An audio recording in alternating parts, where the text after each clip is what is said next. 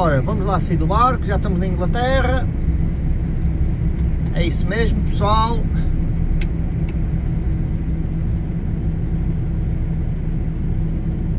À espera como é de autorização para sair.